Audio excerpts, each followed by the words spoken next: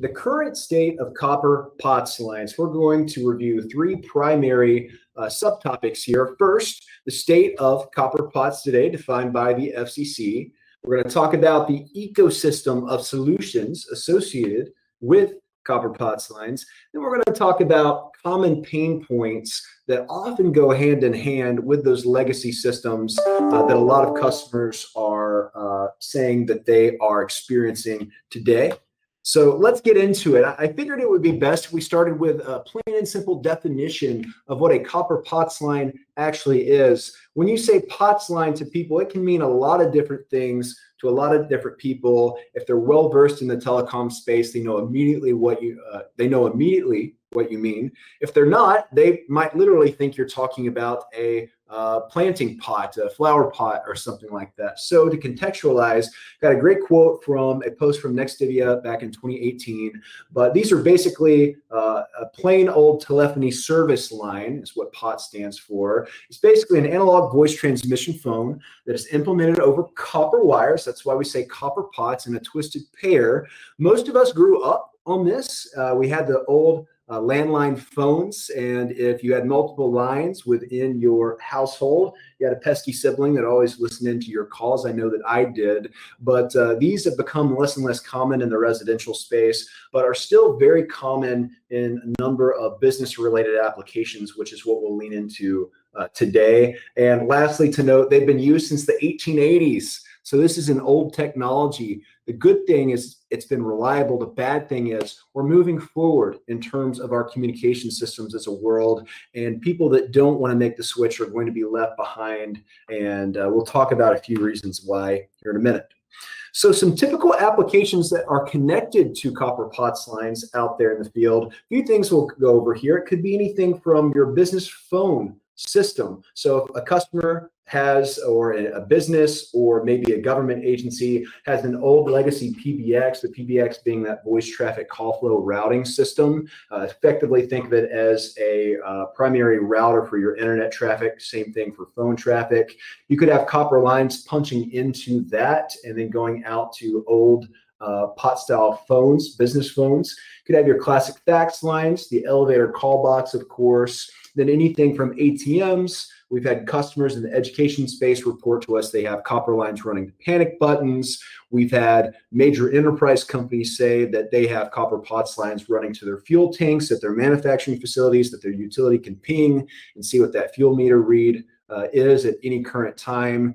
Uh, and then also HVAC, emergency call boxes, on a college campus, if you've ever seen a campus blue light tower out and about on campus, most of those are backhauled by copper POTS lines to get calls out to the internet, SCADA applications, access control, much, much more. So it goes well beyond business grade voice lines to cover a whole spectrum of different what we would call IoT or M2M applications in the enterprise or the public sector today. So state of POTS as defined by the FCC Right now, by their count, there are about 36 million active POTS lines in the United States today. Each customer is paying an average cost of anywhere between $65 and $100. If they're coming in well below that, they probably have a massive amount of lines deployed out in their operating environment today. So they're getting a great volume discount. But as these lines become increasingly uh, harder to maintain and support, there will be cost increases. A lot of them have been cascaded out and reported to us by customers, uh, even over the past three months. So, but 36 million, that's a staggering amount for any of our carrier partners on the call today, that is a huge opportunity to join this movement where we're going to cut that copper out of their architecture and put them on an LTE backhaul for some of those mission critical applications we just talked about in the last slide, all while saving them uh, some money and adding some features we'll cover here in the next section. Uh, lastly, for those with existing POTS line, the FCC has mandated that they would like for major providers to sunset by uh, the beginning of August in 2022. Now, we'll see if they're firm on this. Uh, understandably that business drives support, right? So if a large chunk of that 36 million is still on copper lines, they're not going to just flip the switch off and disenfranchise a lot of folks. But there is pressure from a federal regulatory level for carriers to sunset their POTS lines and for customers to transition to an alternative solution like a POTS over LTE solution. So let's talk about common pain points. We've defined what our copper POTS line is. We've defined what solutions are connected to them. We've even talked about uh, the current state of copper POTS in our country uh, based on reportings and findings from the FCC along with their mandate to sunset. So now let's talk about some of the pain points that customers out there in their business or in their agency today might be experiencing. So the number one pain point we hear with customers today and we already touched on this a little bit, copper POTS lines are simply too expensive. On average, the FCC reports anywhere from 65 to $100 per copper POTS line. The thing to understand, let's take an example. Let's take a school district. School district has 10 schools. All of them are two story. They're required to have an elevator for equitable access to the second floor. Each elevator has a call box, and therefore each elevator has a copper line. So they've got 10 total across their operating environment. If they were to have two elevators per school, that would require a second line. So it's a true one to one solution for each uh, piece of instrumentation or technology that requires one for a communication backhaul to make outbound calls to the internet. You have to have one copper line if it's 65 to 100 dollars average the expense adds up quick it is billed as a monthly utility so for our carrier partners not dissimilar from your data plans and your customers uh, bill today. So that's one pain point. The other part of that is because copper pot systems are so antiquated, carriers are really not encouraging customers to continue deploying them because there are uh, exceedingly less and less year by year companies that specialize in the maintenance and upkeep of these copper POTS line systems. So when support becomes more scarce, price goes up. That's also a deterrent for customers to look for alternative solutions like an LTE backhaul solution. So uh, they could be paying anywhere from 65 to $100, but in some reports from our customer base, uh, specifically in the Missouri area, we've seen where um, some carriers are about 3x their copper POTS line pricing as early as Q4 of this year. So it's becoming really, really urgent for a lot of customers out there today. It's a really easy conversation to have.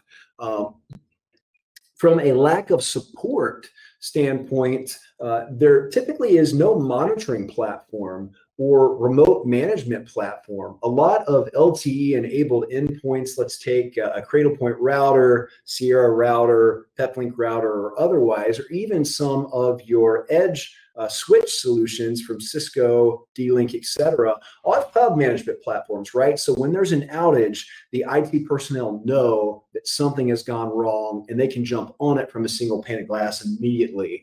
So uh, this kind of touches both lack of support and monitoring. So there's no software tied to these copper telephony lines. So There's no way for IT personnel to know is a copper line up? Is it down? They don't have visibility or monitoring on them. Moreover, what we talked about, there are less and less companies that specialize in the upkeep of these legacy uh, communication systems. So the pathway to support from your provider is often very muddled.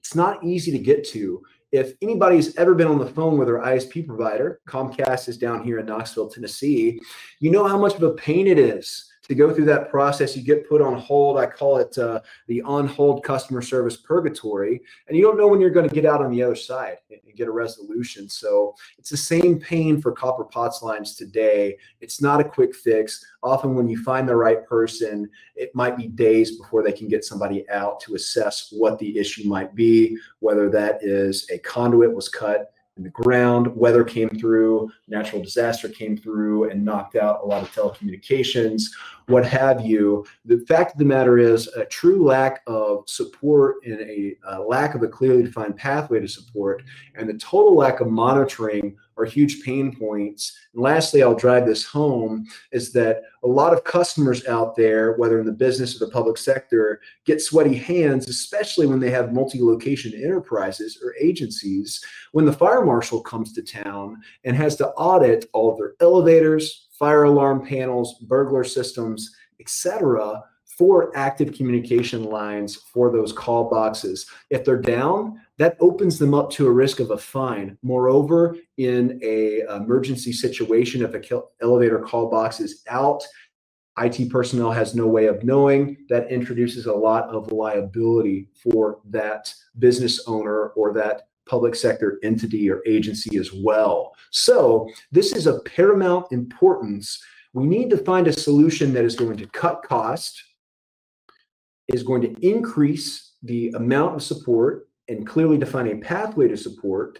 And we need a solution that is going to provide a total uh, monitoring capability in real time for the customer so they know when one of their elevator call boxes goes down. They know when one of their campus blue lights goes down. They know when their HVAC is out or that utility line running to the fuel tank is non-functional. All these are very critical uh, across different businesses and public sector agencies. So we've got to find a solution for it. So with that being said, that rounds out our first section covering the state of copper POTS lines today. Now we're going to move on to the evolution uh, of this type of communication with a POTS over LTE solution from RCN Technologies. So we're going to talk about the architecture. We'll talk about the use cases which might be a little bit redundant, but bear with us. And then lastly, we're going to do pain point resolution over that cost, support, and monitoring slide that we just covered on the previous slide. So let's hop into it. So RCN Technologies does have a POTS over LTE solution.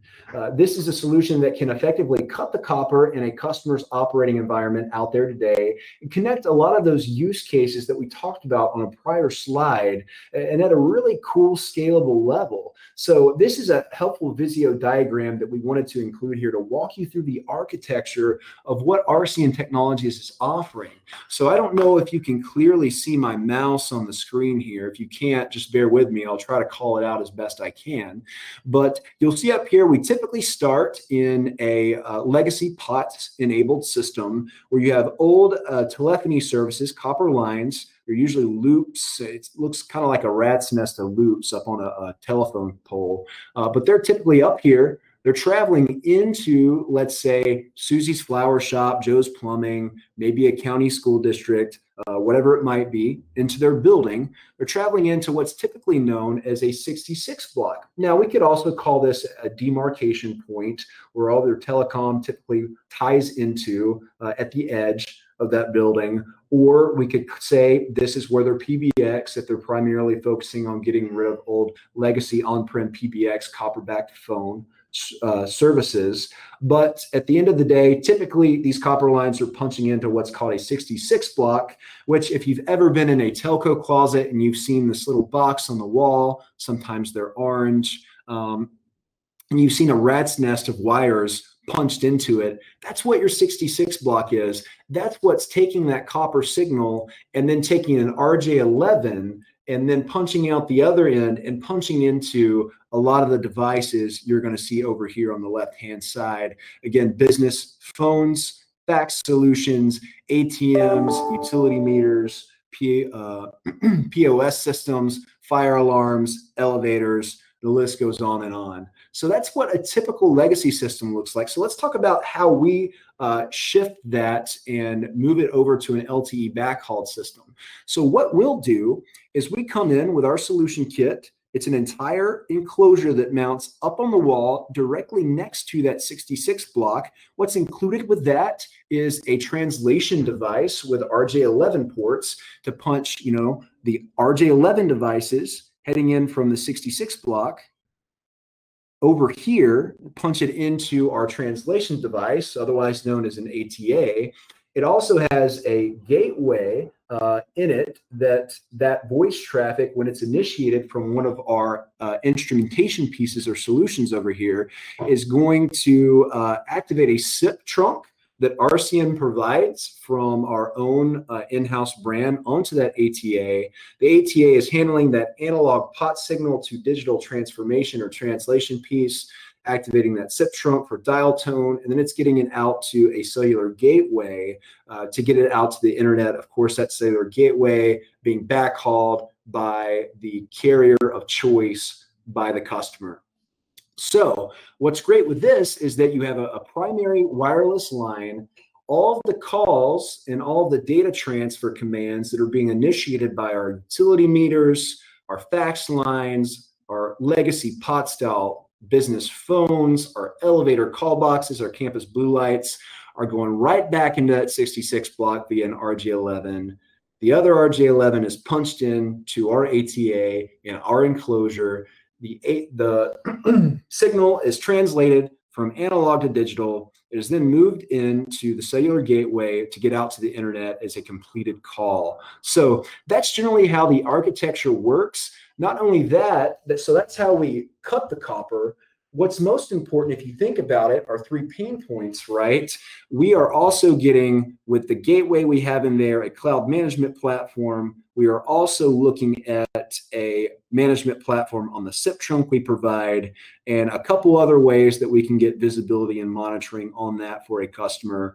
And it's all managed back at RCN Technologies at our NOC uh, our customer service team and our POTS line replacement expert team is constantly monitoring this and jumping into action whenever there's an outage for our customers today. So this is in general how the architecture looks like. What I will say, and we covered this earlier, remember that as many of these devices a customer might have today on a copper legacy system, they're going to have one to every POS system, every utility meter, every fax machine, every business grade phone, every elevator. So it's a true one to one solution on that old telephone service network with a copper line. With ours, our device has scalability up to 16 lines can be punched into a single RCN POTS over LTE kit. What I mean by that is we have scalability here. No longer is it a one to one solution, but it is truly a 1 to 16 solution. Now, there's some costs that come with scaling lines. We won't cover that in the uh, webinar today, but in terms of cost effectiveness and reducing the overall spend from the customer, being able to support 16 lines that might be supporting these devices in a 66 block today with copper backhaul can be moved and supported with one of our units. So uh, let's just say to make it easy, you've got 16 elevators at a building, 16 elevators are punched into a 66 block in a telco closet. There is 16 copper lines supporting those 16 elevators well, we can decommission those and punch them all into one of our units here to drastically reduce the overall cost of individual POTS lines for the customer today, all while getting them uh, 4G, very reliable uh, wireless backhaul, cloud management platform, and dedicated monitoring and support. I know that was a lot. There was a lot to cover on that slide. So definitely, if you have questions, write it down. Let's go over it again in the chat later on during Q&A. So use cases, redundant, right? We covered this in the POTS ecosystem slide in section one. Well, here again, we're basically supporting the same things. Business grade phones on POTS architecture, elevator phones, campus blue light, SCADA applications, HVACs, metering, you name it. Everything we've already covered is supported by our solution today. With a caveat, we do have a secondary solution that isn't scalable. It is true one to one for our fire alarms, simply because uh, the fire marshal requires a very specific uh, NFRA certification on any wireless communications backhauling a fire alarm system. And we are chasing that certification. It's expensive. We don't have it yet, but the plan is to drive there in one to two years. So everything else other than the fire alarm you see on here today is readily supported. Elevators, campus blue lights, fax lines being the biggest ones we find out there today, and also those old PBX copper backed phone lines.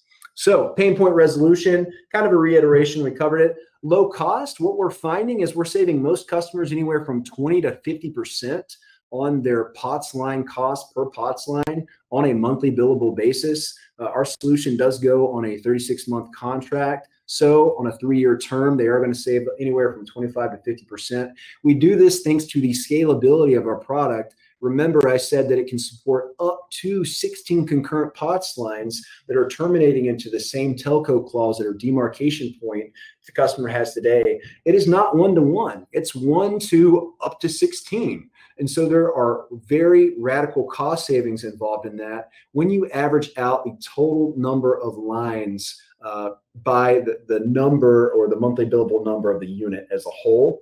It's fully, fully supported.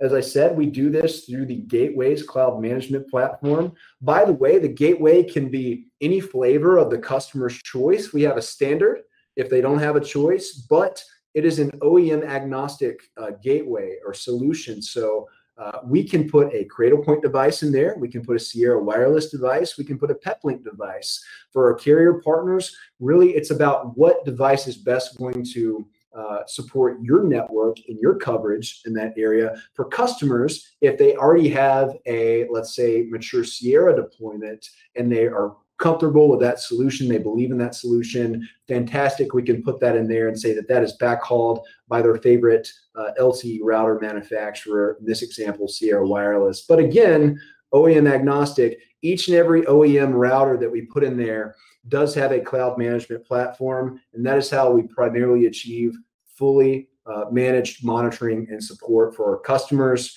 uh, 24 7 monitoring as well. Basically what this looks like if one of their lines go down we're notified immediately and our team jumps into action before the customer even sees their email notification on their end. So it's adding a tremendous amount of value to them because now they have a clearly defined pathway to support they know when their lines go down and so no longer do they have to go out and spend hours auditing site by site uh, think about a college with up to 400 lines campus blue lights, they have to go check every single building's telco closet to make sure each one of these pieces of instrumentation is enabled by a copper line that is still functional. That is a huge cost and time sink for the customer. So in terms of a tangible cost saving on a month-to-month billable basis over a 36-month period, the scalability of our solution really allows us to drive costs down for the customer versus that 65 to 100 on average they're paying today for copper lines. It's fully supported. So that means uh, in terms of the non-tangible cost saving, IT personnel man hours spent auditing these lines, trying to find out who can come fix the lines, et cetera, that eliminates a, a, huge amount of time and frustration for them for non-tangible cost savings in terms of hourly overhead that kind of thing. So that is how our solution resolves these pain points today uh, for customers out there that have them. Recap. So we talked about the current state of copper pots. Remember 36 million active in the united states. There is a huge amount of opportunity. Some of that is residential yes but a majority of that is in the enterprise and or public sector space, also the SMB space as well. So let's definitely chat and think up and talk about how we can drive uh, this solution uh, to our customers and uh, kind of cut the copper, save them a lot of money, get them a lot of features. We talked about how they can evolve their traditional copper communication game with RCN's POTS over LTE solution kit. And then lastly, let's talk about next steps here. Now that we've been educated about the solution, educated about how it can resolve common pain points for our customer from cost to proactive monitoring and support. How can you learn more? You're interested in what you've learned today. You want to know more. A couple different things. RCN frequently hosts webinars like this where we go into live in-depth information and Q&As on all the applications and solutions that we offer to do things from cutting copper POTS lines to save money and add monitoring and support, all the way to uh, wireless pop-up network solution kits that customers can deploy with a push of a button out there to support any number of applications. We're frequently publishing articles on the latest developments out in the 5G and LTE world and landscape today. Lastly, follow us on social, primarily Facebook and LinkedIn for developments, product release announcements, different bits of bite-sized info and blog posts that our dedicated team of specialists is updating frequently. Lastly, I wanted to leave you with our guarantee, right? So we talked a lot about our solution. So who are we? Well, effectively, this is who RCN is. 5G and LTE enablement company. Now, what does that mean, right? 5G is a buzzword. Enablement can mean a lot of things, but what I believe it means is that we truly partner with not only our carriers to understand their 5G roadmap and strategy, but we also partner with our OEM manufacturers to understand their roadmap and strategy. And then we take that knowledge, we distill it, we synthesize it, and we come along our customer base to effectively guide them to the right solution every time. Because at the end of the day, we believe that their connectivity for their business operations or for their mission critical operations in the public sector, staying connected is everything on those. That's how the world moves today through connectivity to the internet. And 5G is the way of the future through that. So, at the end of the day, we're going through our proven process you see there on the left to get the customer the right solution every single time. For today's webinar, we truly believe our POTS over LTE solution kit is the right solution for everything we've talked about today. So, what can you do? You are very interested in what you've heard today. So, if you're an attendee, you are more than able to schedule a free one on one POTS over LTE or POLTE for short consultation um, we are offering uh, demos or we have the capabilities of doing personalized demos depending on what the customer's use case is, what your use case is if you are a customer, uh, what your customer's use case is if you are a wireless partner or a OEM partner. We can plan a proof of concept with them. And then, of course, we can lead with the need, as we say here at RCN, discuss what they're trying to accomplish, and really tailor those solutions to meet that. Again, our solution for POTS over LTE is very customizable and scalable. So we want to make sure that we meet their needs and resolve their pain points effectively.